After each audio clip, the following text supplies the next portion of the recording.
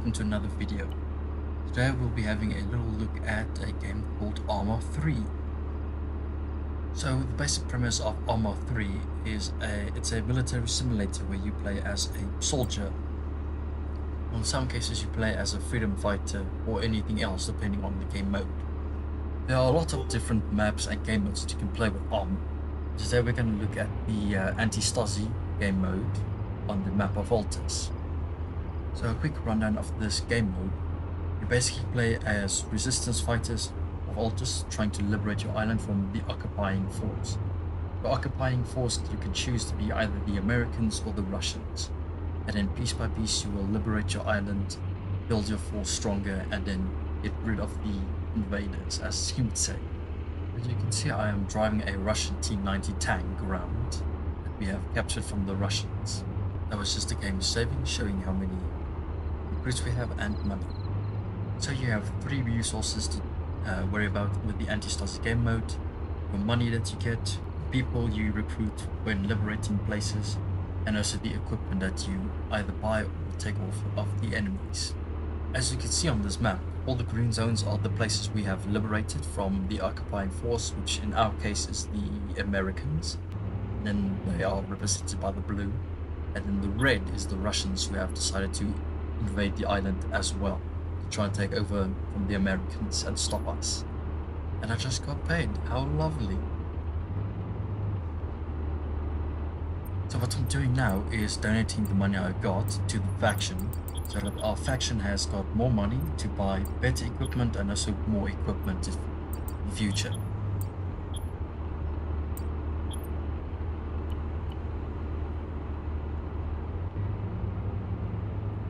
Taking this T-90 tank to this outpost up north so we can capture it from the Americans. It's a very big and important resource when you're playing this uh, game mode but also in Arma in general because a lot of troops are scared of a tank of course and there's not much they can do unless they have like RPGs or some anti-tank weapons. The tank is not invulnerable so that's one thing you must remember. This isn't a fantasy sort of thing this is realistic. Tank can get destroyed by one infantryman with an RPG or an anti-tank uh, missile. Just scanning around with the uh, thermal imager and IR to just see if there's any infantry out in the open that might be a danger for me. And also if I can see any other vehicles that might also pose a threat. In Arma you basically just need two people to operate a tank, a gunner and a uh, driver. I would recommend that you have at least three people in a tank because then you have like a commander who can look around while the gunners are looking for targets.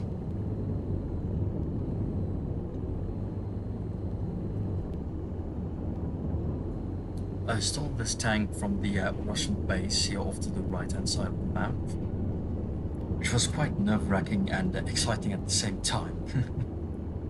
what I did was I basically ran up to the uh, airfield unarmed and then stole one of the unoccupied tanks and then drove it off and shot as many as the uh, Russians occupying base as I could.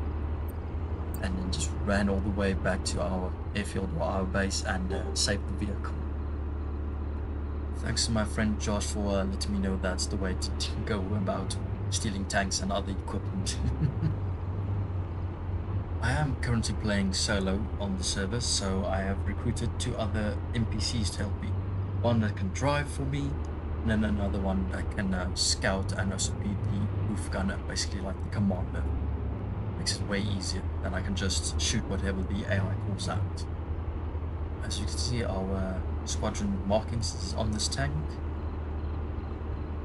Because we have uh, saved this vehicle into our uh, arsenal we basically have a clan, so this is the clan markings. Our clan's name is uh, Should Have Side Climbed, and we also have a War Thunder squadron if uh, any of you are interested.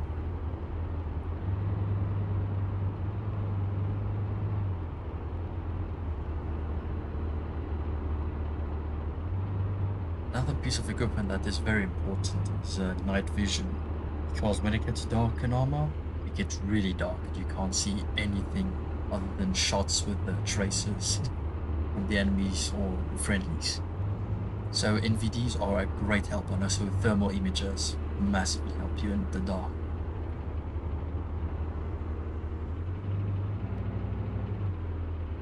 Another little tip for Arma when playing in the night is uh, don't drive with your lights on because uh, an enemy will see you and shoot at you immediately and you won't be able to see them. So only when necessary, drive on with the lights, but otherwise off all the time.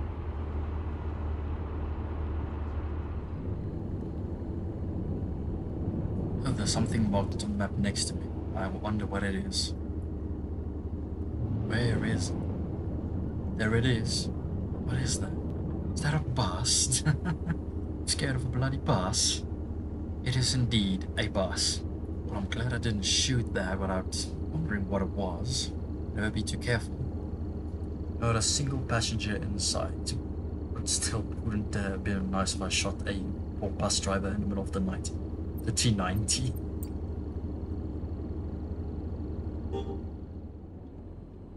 Finally, the outpost is in sight after like 50 minutes of driving. Time to engage some poor infantry with a tank. Now the fun begins.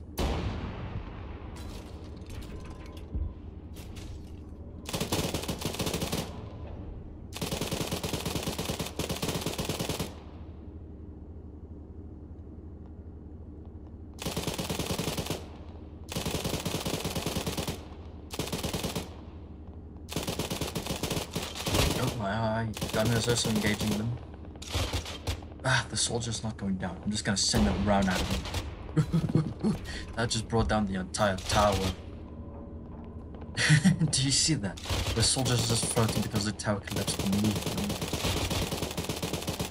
them. Arma physics, man, that is really special. That's that's Arma physics for you. Sometimes it works, sometimes it just does the weirdest things ever.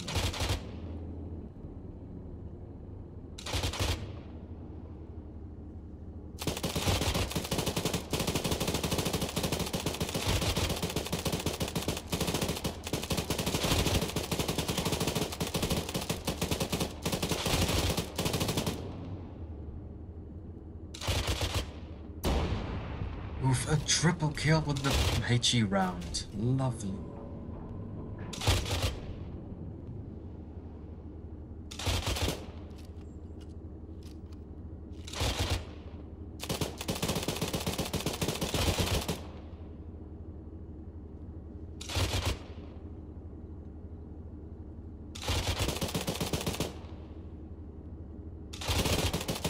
His laser led me straight to him.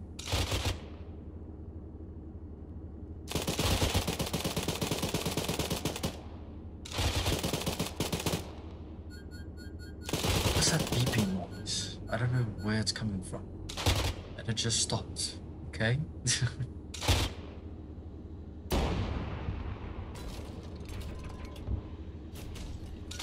there it is again. What is making that beeping noise?